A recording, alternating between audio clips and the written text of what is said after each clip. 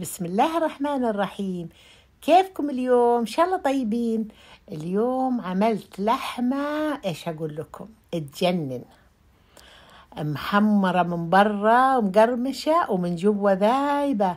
ريحتها عبت عندي العمارة والله. إحنا ساكنين هنا في شقة. العمارة تعبت من الريحة. ريحة البهارات المزيج البهارات اللي حطيتهم كان رائع. وحطيت بطاطس معاها. صينية بطاطس آه، لحمة بالبطاطس بالفرن يعني هي لازم بطاطس. آه، عملها مرة سهل وطريقتها سهلة لكن طعمها مو طبيعي. الحين نشوف مع بعض. شايفين من برا محمرة ومقمرة لكن من آه، جوا تحت ذايبة. وريحتها تجنن. يعني أوريكم الصوص كيف الصوص ما شاء الله مسبك. يعني لما يقولون طبخة مسبكة هذه طبخة مسبكة. لا تحس لا تدورون غيرها.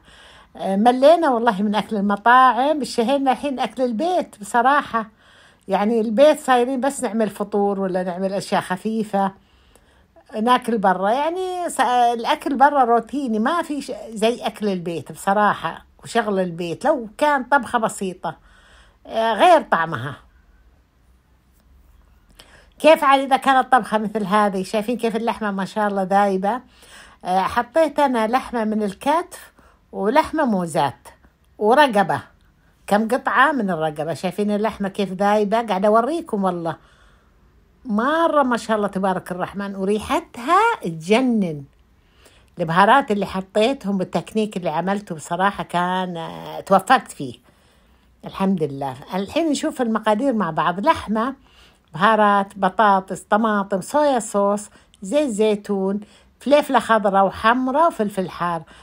آه، ورق غار وهيل وثوم وبصل. الحين كله نشوفه مع بعض وكله حيكون مكتوب عندكم. عندي هذا الصاج من أديسون أخذته اشتغلت فيه.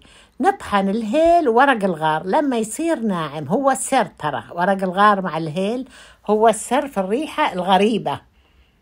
يعني حتى اللي أكلوها عندي يقولون الله فيها ريحة غريبة. تجنن البطاطس قشرنا نقطعه شوي سميك ما نقطعه ضعيف لأنه بعدين إذا قطعناه ضعيف آه، بسرعة يذوب يتقطع جوا الصوص. بعدين الفليفلة الخضراء وفليفلة حمراء وطماطم وثوم نحطهم في المطحنة. أنا عندي هنا مطحنة صغيرة عملتهم على دفعتين. طماطم فليفلة خضراء ترى ما فيها فليفلة حمراء. طماطم وفلفل خضراء وفلفل أخضر حار. مو حار متوسط. نحطه نحط له زيت زيتون نحط له الهيل مع ورق الغار. وهذه البهارات نخلطها مع بعض حتكون مكتوبة عندكم.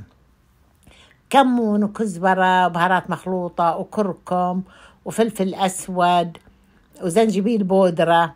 كله حيكون مكتوب عندكم. ناخذ منهم كمية نحطها مع الصوص. قلت لكم هذا الخضار عملتها على مرتين على دفعتين لأنه الماكينة عندي صغيرة. جرشناهم جرش بالماكينة مع البهارات وزيت الزيتون وصويا صوص. الباقي رجعنا كملناه بنفس الطريقة.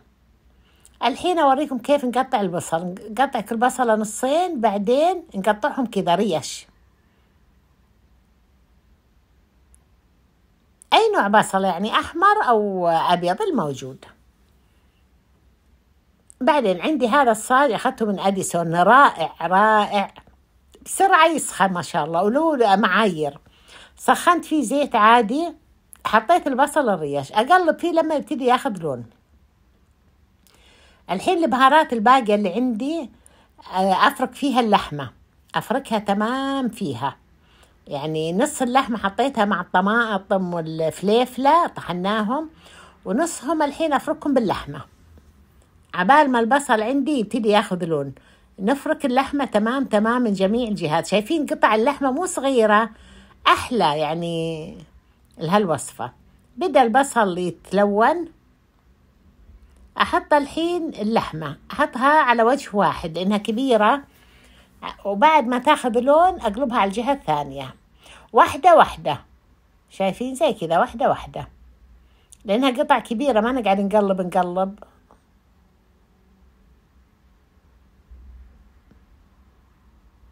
ضروري ياخذون لون.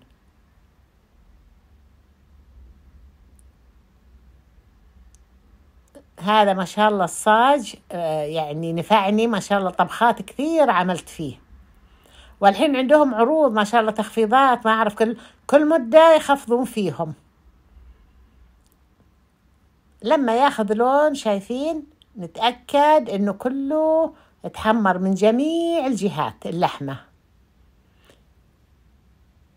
نحط الحين آه، الخلطة اللي طحناها طماطم وفليفلة خضراء وفلفل أخضر حار بس مو حار مرة ترى مش الحار مرة هذا متوسط الحرارة.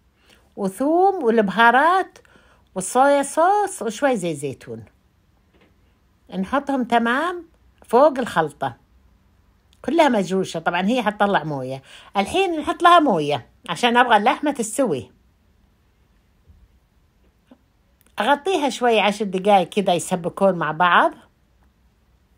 بعدين فتحتها أحط لها ملح وأحط لها مكعب مرقة دجاج وأحط لها ملعقة مليانة معجون طماطم.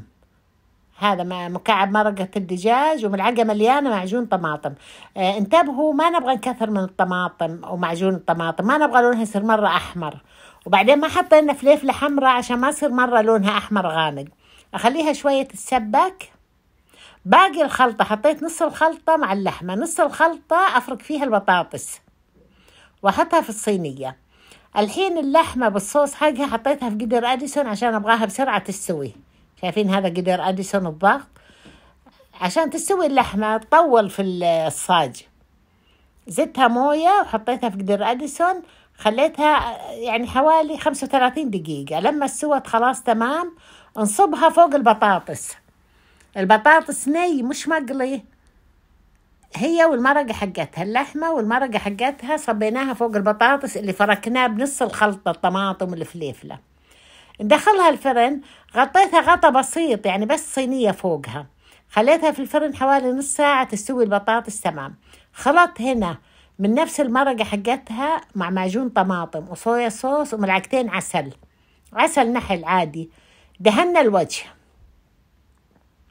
بعد ما استوت اللحمة والبطاطس كملوا السوا بالفرن ندهنهم بهذا الخليط ندهنهم تمام تمام.